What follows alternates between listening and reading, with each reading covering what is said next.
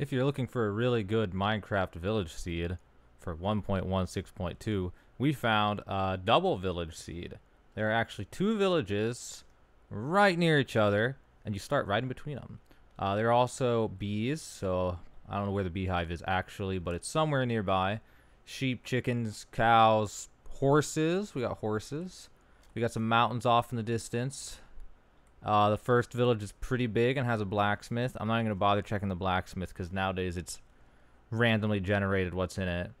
And the second village, pretty standard village.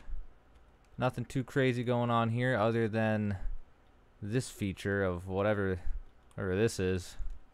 And uh, yeah, that's really about it. There's not much else to show. Just a quick, quick seed for you to check out if you're looking for a village. Well, here's two two villages in one Minecraft seed, and this test is tested and works for Minecraft 1.16.2.